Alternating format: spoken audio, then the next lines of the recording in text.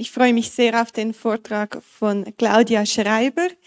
Sie ist ähm, als Rechtsanwältin in Bern tätig mit dem Schwerpunkt Agrarrecht und Strafrecht und ähm, sie ist auch im Vortrag, Vorstand der digitalen Gesellschaft.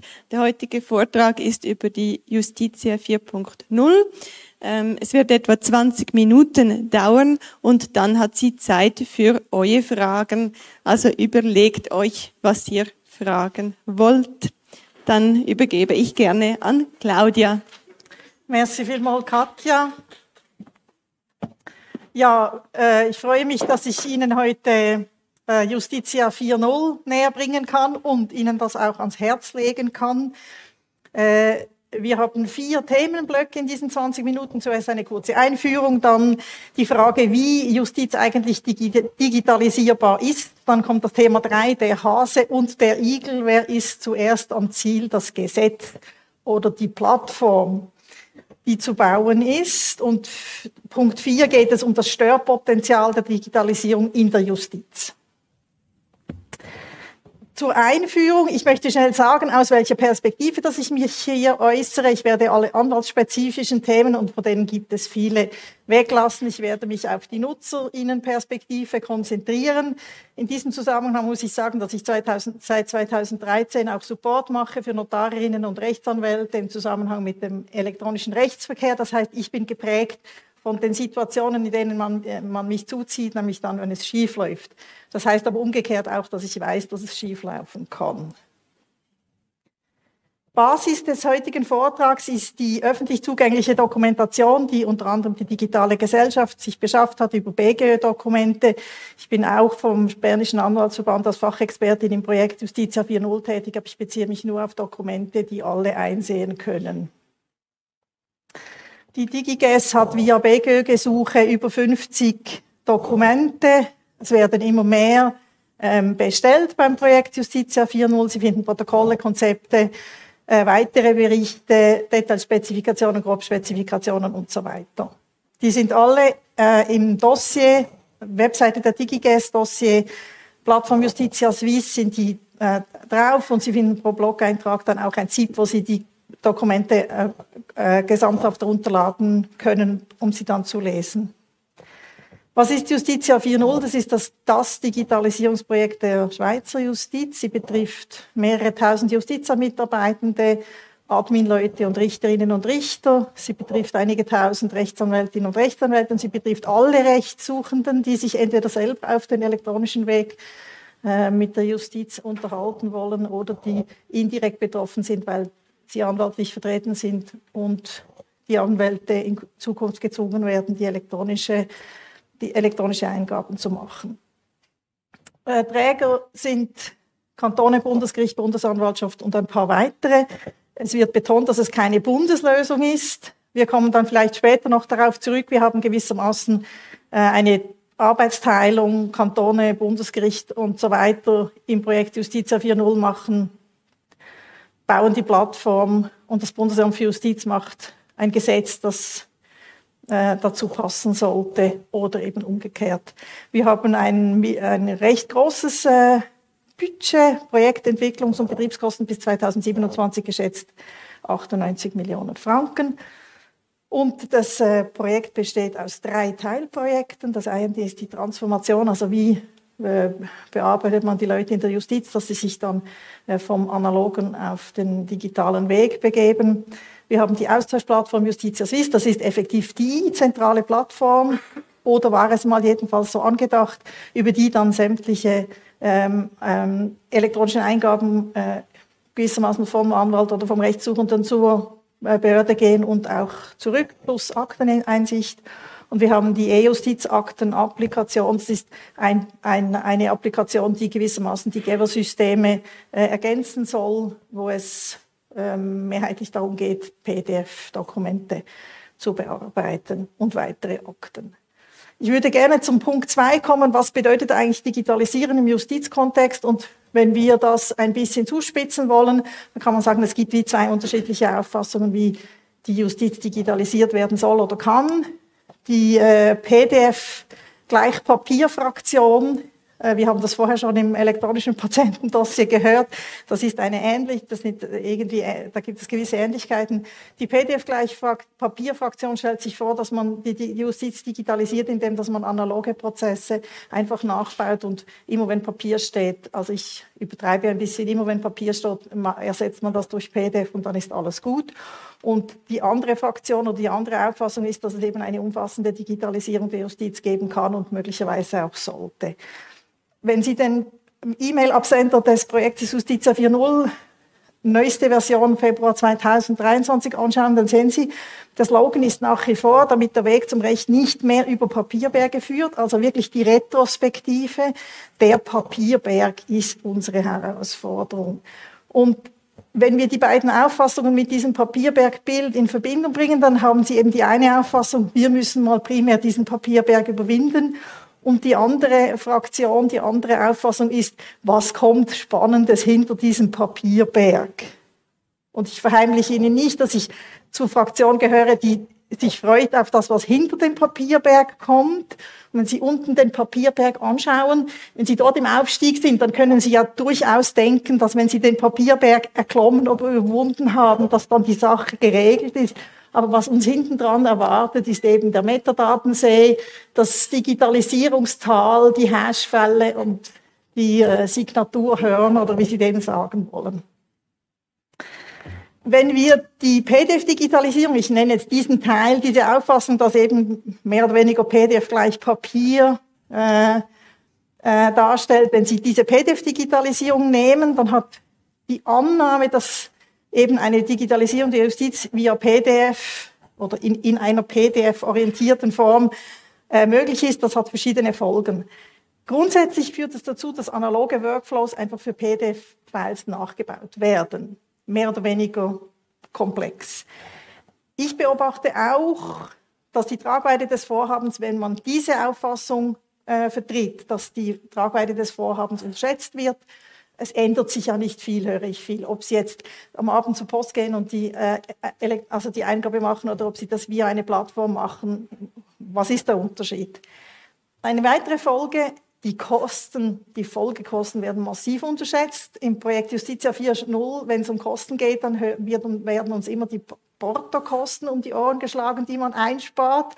Und alle, alle, die irgendwie schon mal etwas mit Digitalisierung gemacht haben, denken, ja, aber was kommt denn an Zusatzkosten? Und da ist dann die große Stille.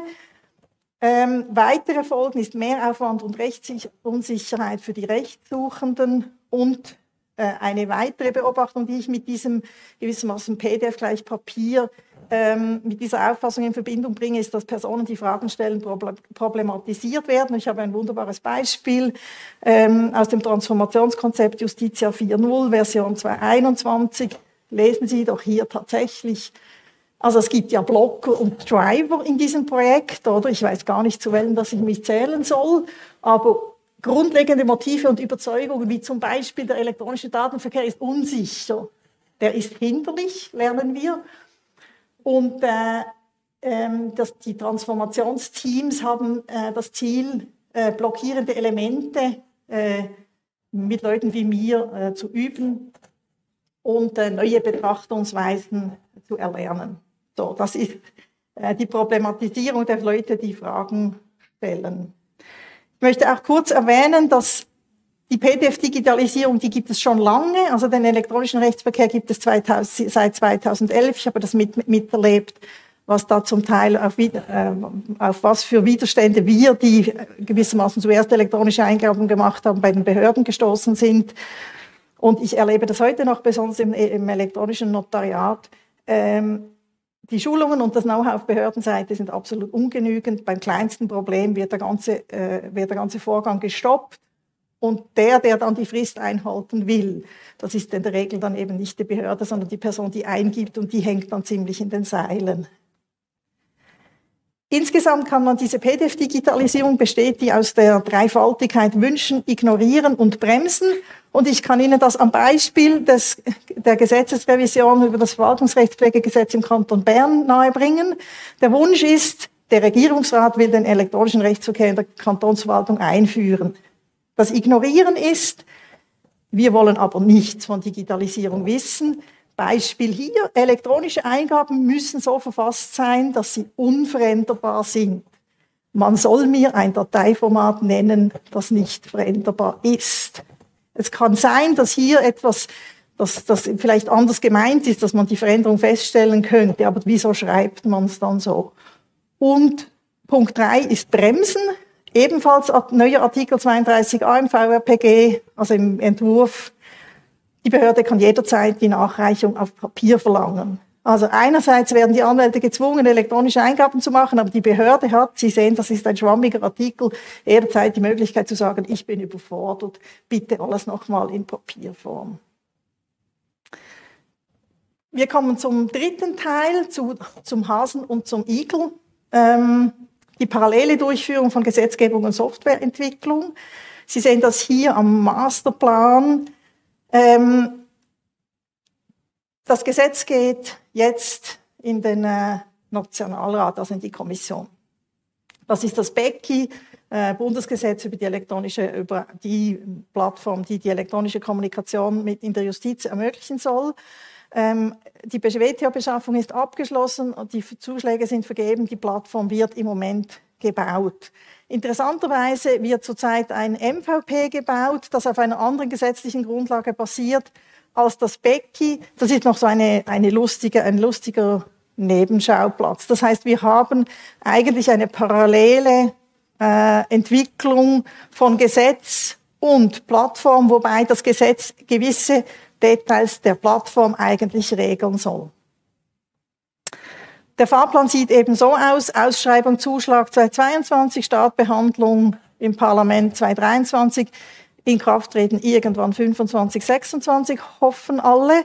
Und da stellt sich die Frage, die auch die digitale Gesellschaft ähm, im Rahmen der Beschwerde gegen die Ausschreibung äh, aufgebracht hat, nämlich inwiefern sind die politischen Rechte eingeschränkt, wenn gewissermaßen die Programmierer bereits das am Programmieren sind, was das Gesetz eigentlich noch zu regeln hätte. Also die Frage ist, ob das überhaupt ein ergebnisoffener Gesetzgebungsprozess sein kann und dann die kleine Polemik, äh, weil dann immer wenn, immer, wenn man das Thema aufbringt, sagt, ja, wir machen das eben agil und so. Und dann kann man sagen, ja, agil ist, wenn man eben trotzdem baut.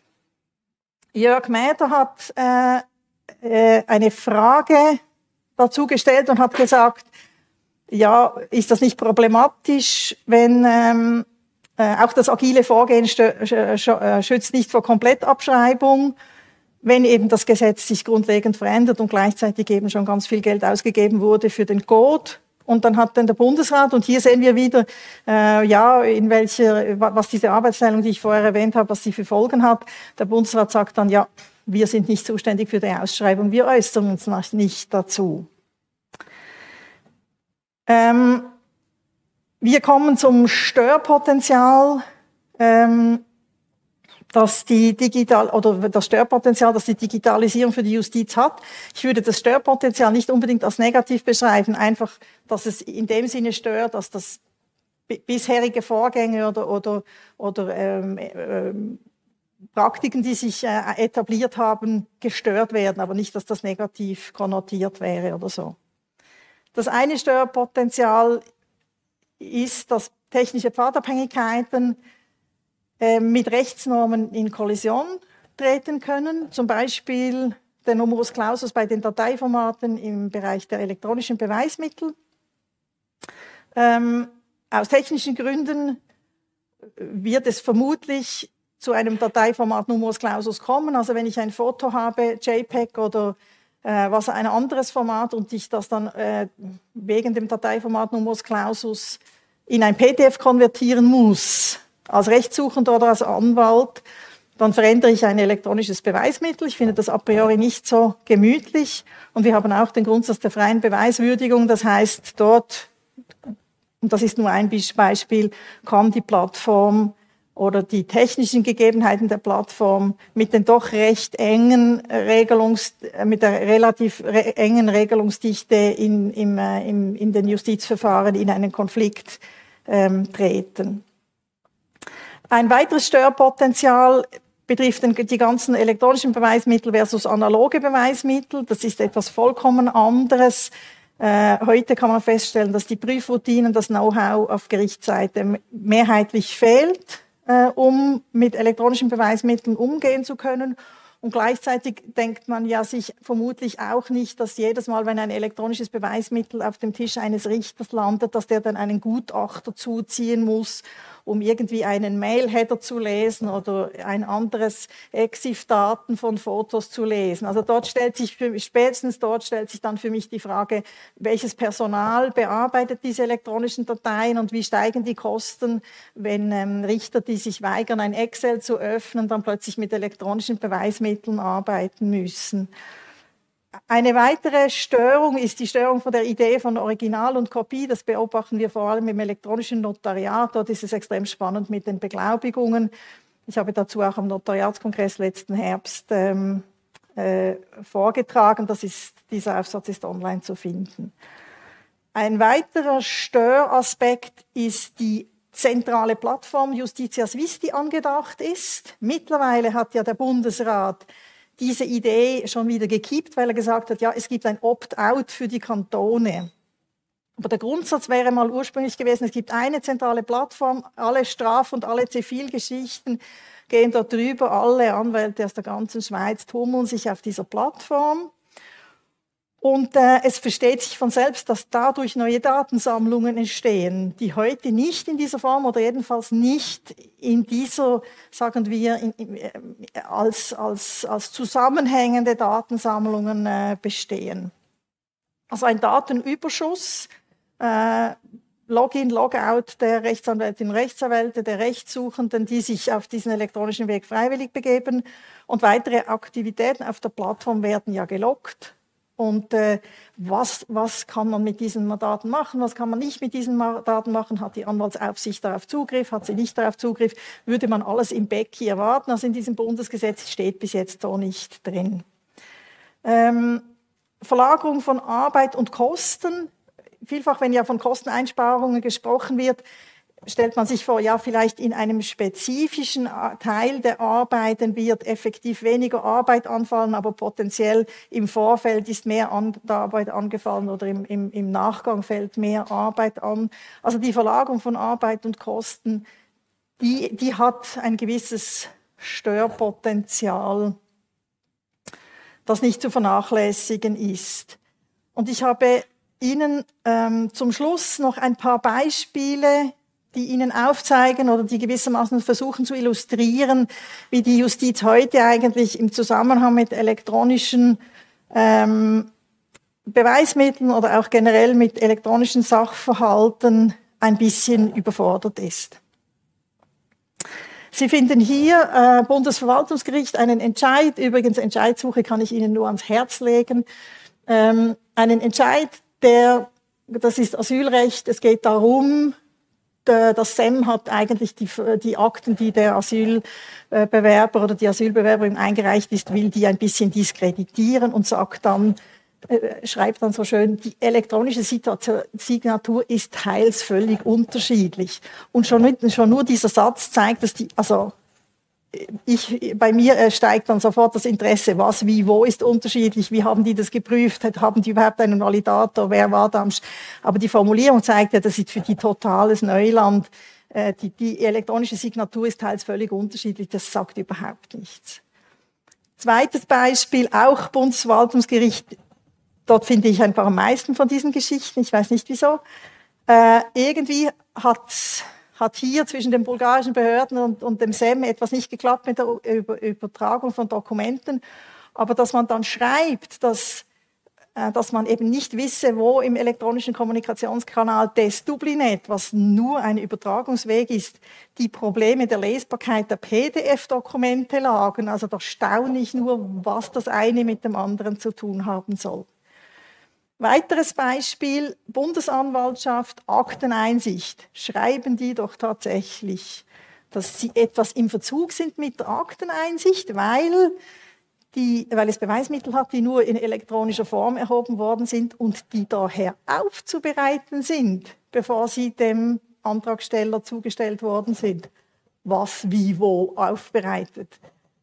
Die Daten sind dem Antragsteller so zuzustellen. Seit wann bereitet man elektronische Beweismittel auf, bevor man sie weitergibt. Also verändert sie ja, heißt das nicht anderes. Und dann aus, dem, aus der Ostschweiz von einem Untersuchungsrichteramt im Zusammenhang mit einem Strafbefehl hat sich der Verteidiger dazu durchgerungen zu fragen. Er hat Fotos bekommen, das ist ja heute, äh, heute extrem häufig, man bekommt, man bekommt Fotos, die in ein Word reinkopiert worden sind und daraus wird dann ein PDF erstellt und das wird dann ausgedruckt und dann bekommt man das. Hat der also nach den Rohdaten gefragt und dann hat man ihm gesagt, es sind keine elektronischen Ursprungsdaten vorhanden. Also mit anderen Worten, das Foto ist analog erstellt worden, höchst unwahrscheinlich. Und im Übrigen, falls sie dann doch nicht analog erstellt worden wären, wären sie für das Verfahren nicht relevant, diese elektronisch eingeforderten Fotos. Und äh, wir haben dann noch, das ist gewissermaßen der Schluss, das Schlussbucke des Feuerwerks, auch wieder das SEM, auch wieder Asylverfahren, wo es auch darum geht, einen Scan, den ein Asylbewerber vorweist, äh, gewissermaßen dem einen, einen Beweiswert abzusprechen und dieser, dieser Auszug diesem, aus diesem Entscheid, der hat eigentlich das Potenzial, das ganze Justitia 4.0 Projekt unter den Tisch zu kehren, weil hier steht, es handelt sich Skandal um einen Scan und nicht um das Original, das Dokument. Es könne nicht ausgeschlossen werden, dass das Dokument, welches nachweislich digitalisiert worden sei, also gescannt, also das, was wir alle machen müssen, wenn Justitia 4.0 kommt, allenfalls einer elektronischen Nachbehandlung unterzogen worden sei. Effektiv. Und ähm, demnach entfaltet das neu eingereichte Beweismittel keine relevante Beweiskraft. Also das ist gewissermaßen dann die Bankrotterklärung. Ich weiß nicht, wie man das anders äh, interpretieren kann. Wenn man diese, wenn man diesen Teil des, äh, des Urteils gewissermaßen auf das Projekt Justitia 4.0 anwendet, dann würde das bedeuten, dass man eben keine gescannten Unterlagen als Beweismittel einreichen kann. Und das wäre doch einigermaßen erstaunlich. So. Jungs? Ah, vielen Dank für den super informativen Vortrag, Claudia. Ähm, wir hätten jetzt Zeit für eure Fragen. Ihr könntet dort ans Mikrofon treten, bitte gerne etwas nahe zum Mikrofon hin. Ähm, ich hätte sonst persönlich auch noch eine Frage. Wo stehen wir da im internationalen Vergleich? Genau, also das ist äh, das ist, äh, das ist eine lustige Frage, weil uns wird ja immer vorgehalten, ja, die umliegenden Länder seien alle viel weiter. Und ich habe aus diesem Grund mit einer Vertreterin des Deutschen Anwaltsvereins ein Interview gemacht für das Indubio, das ist die, die, die Zeitschrift des Berlischen Anwaltsverbandes. Und ich habe das Interview beendet und ich habe mir gedacht, wir können das nicht abdrucken, weil das so absolut desolat ist. Also es gibt nur den Weg der elektronischen Eingabe. Den Rückweg gibt es nicht, elektronische Akteneinsicht existiert nicht. Man darf nur PDFs einreichen. Ich fragte die Kollegin Frau aus Berlin, warum, weil sie sagt sie mir, PDFs sind nicht veränderbar. Das ist die zuständige elektronische Rechtsverkehr des Deutschen äh, Anwaltsvereins. Also äh, wir haben, äh, wir haben äh, die Vorgabe in Deutschland, dass die elektronischen Eingaben ausdruckbar sein müssen und effektiv werden alle elektronischen Eingaben ausgedruckt und wieder eingescannt, damit sie in die Geschäftsverwaltung dann der Gerichte also ich, das, das hört gar nicht mehr auf. Sie wollen einfach heulen, wenn sie das hören. Und nach, nach ich habe das schon ein bisschen geahnt, dass dieses besondere elektronische Anwaltspostfach effektiv ein bisschen ein besonderes elektronisches Anwaltspostfach ist. Aber in diesem Ausmaß hätte ich mir das nicht vorstellen können. Und einfach, äh, ich nehme das Interview jetzt immer mit an Veranstaltungen. Wenn mir dann jemand sagt, Deutschland sei voraus, dann sage ich einfach, bitte mal lesen. So, so viel zu. Genau. Nächste Frage. Also zunächst einmal vielen herzlichen Dank für den informativen Vortrag. Und ich hätte zwei Fragen. Äh, das erste ist gerade zum letzten Entscheid vom Bundesverwaltungsgericht, den Sie gezeigt haben. Würde das nicht in der Folge auch heißen, dass auch äh, Kopien von Originaldokumenten, die ich einreiche, weil es sind ja auch keine Originale, es sind Kopien, was dort der Unterschied zum Scan sein soll, ist mir schleierhaft. Dürfte man ja auch in dem Fall nicht anerkennen. Ist in meiner Praxis, als ich beim äh, Anwalt als Praktikant gearbeitet habe, irgendwie nie passiert. Ähm, und das andere ist, ähm, gerade bei diesen PDF-Beweismitteln, dort gibt es, ich meinte in Österreich eine Initiative, ein Unternehmen namens Netzbeweis GmbH, die ähm, setzt sich beispielsweise dafür ein, dass man ähm, Internetauszüge oder zum Beispiel Chatauszüge beweissicher machen kann, indem man dort ein PDF erstellen kann über Netzbeweis GmbH, wo dann das PDF mit einem Zeitstempel versehen wird. Mhm. Und ähm, ist da im Rahmen von Justitia 4.0 auch etwas Ähnliches angedacht? Ob es die Behörden annehmen, ist dann die andere Frage, aber haben sich das auch dort ein bisschen überlegt? Genau, also zur ersten Frage, äh, ja, absolut, oder? Also das äh, sehe ich auch so. Dass, ähm, hier kommt dann die technische Richtlinie Resiscan ins Spiel, oder? Also wenn man es, wenn man es kennen will, dann müsste man dann, wenn man es richtig machen wollte, müsste man halt vielleicht die Regeln des ersetzenden Scannens anwenden, vielleicht noch den einen oder anderen Abstrich von der TRS-Scan, weil das ist ein ziemliches Paket. Und, äh, aber da beeilen sich da immer alle Leute zu sagen, oh nein, die TRS-Scan ist nicht anwendbar für uns, weil die genau wissen, das ist der Horror. Und da steigen dann die Scankosten, gehen die wirklich durchs Dach, oder? Also das ist der, der eine Punkt. Ähm, genau, von wegen beweist sich, also warum muss man elektronische Beweismittel, die in einem bestimmten Format, MSG, EML, weiß nicht was, äh, JPEG vorliegen, warum, warum sollte man die überhaupt konvertieren, also verändern? Das erschließt sich für mich nicht, außer wenn die Gerichte nicht mit diesen Originalbeweismitteln umgehen können. Und gerade das Beispiel, ich meine, eine Website, wenn ich aus einer Webseite ein, einfach ein PDF mache, die ganze Multidimensionalität einer Webseite, wir wissen alle, aus was eine Webseite besteht. Und die besteht definitiv nicht aus dem, was dann in einem PDF sichtbar ist. Und das gilt auch für die Chats. Also dort ist irgendwie die Bereitschaft scheinbar vorhanden, dass man elektronische Beweismittel quasi in ihrer ganzen Vielfalt einfach flach platt drückt auf die Ebene eines Stück Papiers, das dann als PDF daherkommt. Und das ist eben diese PDF-Digitalisierung. Ich denke auch eine völlige Thema Ignoranz, eine völlige Unterschätzung eigentlich dessen, was was, äh, ja, was, also was Dateien überhaupt für ein Potenzial haben und was in Dateien als Beweismittel eigentlich so drinstecken kann. Mhm. Ja. Ähm, vielleicht, wenn ich einfach nur eine kleine Anekdote anhängen darf. Ähm, ich habe ja gesagt, es gäbe die Möglichkeit, dass man eben mit so Zeitstempel PDFs erstellen kann von Chats und Webseiten. Was ich aber auch schon gemacht habe, ist, als eine Gegenpartei behauptet hat, ja, die Person XY, die hat doch gar nie bei uns gearbeitet, ein Auszug aus archive.org hat auch schon mal ein Gericht vom Gegenteil überzeugt, weil dort stand die Person dann plötzlich doch auf der Webseite drauf.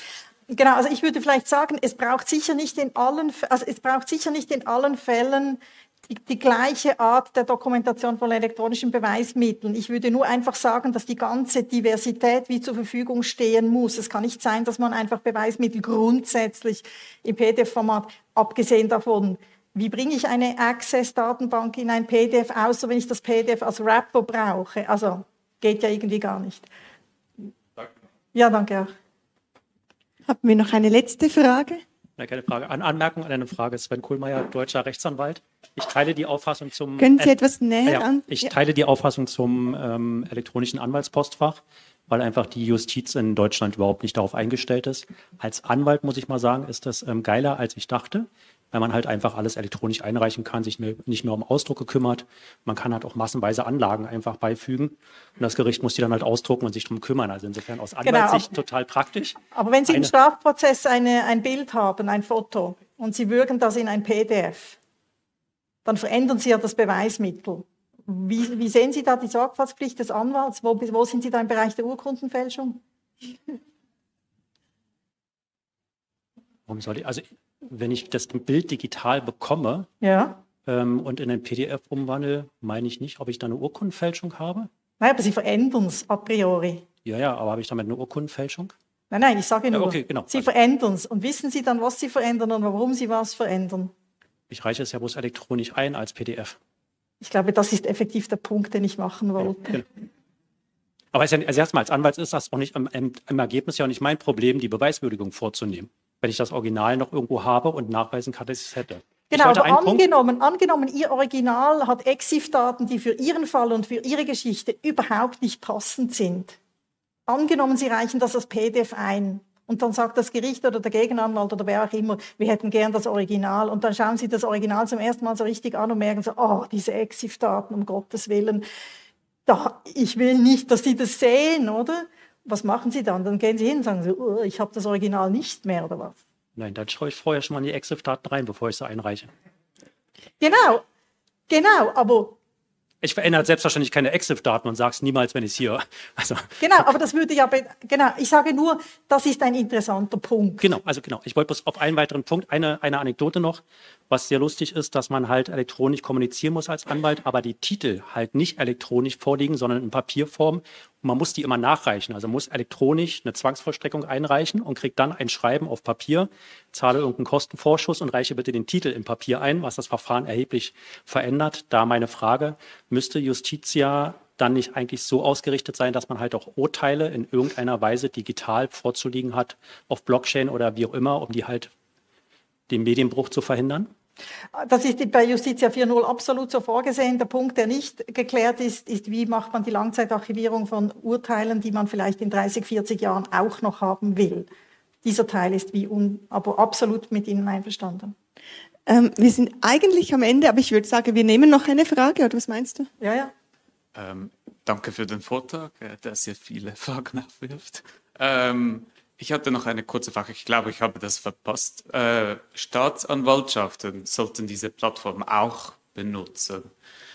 Gäbe es die Möglichkeit, dass es im Bereich der Strafbefehle zu erhöhter Transparenz kommen könnte? Zum Beispiel, wenn man da eine Einsicht äh, haben wollte? Also ja, genau, das ist natürlich eine Forderung. Urteilsveröffentlichung auch via justitia.swiss könnte man ja mehr oder weniger sagen, die sollen automatisch anonymisiert werden und auch in, in einem kleinen Modul von Justitia Swiss alle publiziert werden. Also ab- es hat absolut Potenzial. Also ich gehöre nicht zu denen, die denken, das ist nicht eine gute Sache. Ich, ich, äh, ich, genau solche Dinge wären eigentlich total interessant. Und dann braucht es dann eben auch Entscheidsuche nicht mehr. Wir müssen hier leider äh, beenden. Vielleicht könntet ihr das offline dann noch äh, klären, äh, abschließend klären. Vielen Dank, Claudia. Hier geht es gleich weiter mit der elektronischen Identität des Bundes, Stand der Arbeiten und Ausblick. Vielen Dank.